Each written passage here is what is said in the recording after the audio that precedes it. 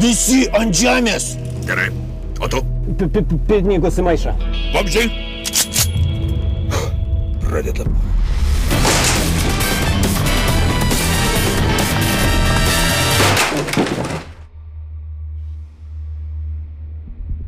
Skambink bosai. Be pinigų. Daug pinigų neprireiks. Dabar ežio ledas pirštų ir liežuviui tik šeši litai per mėnesį. Užsisakyk. Vežys. Gazuotas, gazuotas.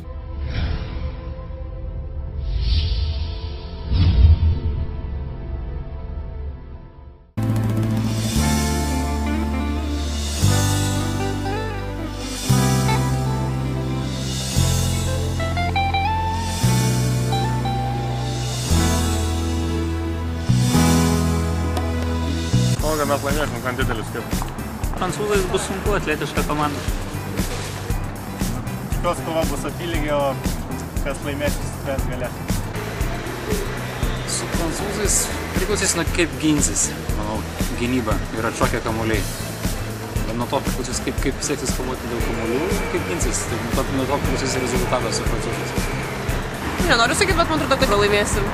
E, Manau, kad lietuvių gali laimėti kokiais penkiais taškais dešimt. Laukia sunki kova su atletiškais prancūzais, bet aš tikiu Lietuvą.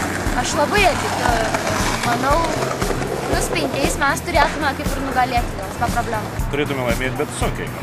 Bet turėtume laimėti. Tikrai. Laimėsim. Kokiu skirtumu, kaip galvoji? E, didelio. Laimėsim. Laimėsim, aišku, laimėsim.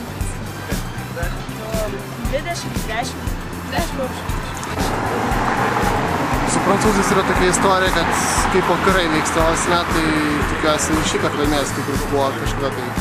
Kadangi prancūzai patys yra tokie kartais nelabai taikus tarpusavyje, tai gali būti, kad gali lietuviam pasisekti, nežinau. Turi pasisekti. Jo, turi pasisekti. Mes Lietuvą. O, nesu analitikas, žinokit.